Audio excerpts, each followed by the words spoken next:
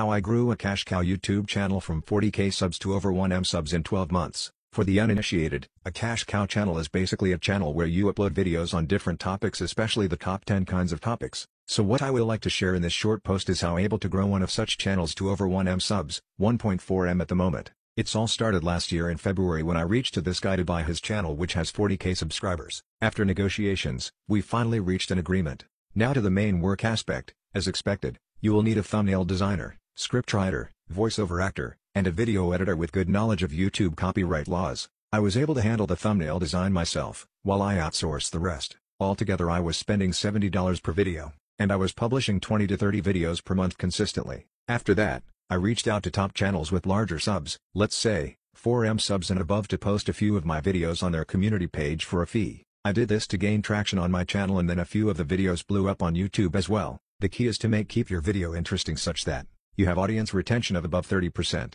that is, the videos are usually 10 minutes long.